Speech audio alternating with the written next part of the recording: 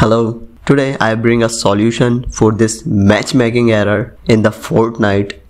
So, if you're having this error and you want to play the game so badly, don't worry. This error cannot stop us because I will solve this problem for you. The first thing you need to do is open your menu of our game and click on your picture on the top right corner and from here and from here you will see this kind of window click on the settings and in this window first click on this option and you will see click on the matchmaking region and change your region according to your location. For example for my case i'm choosing europe as my region and after you have selected your region then click on apply and that's all.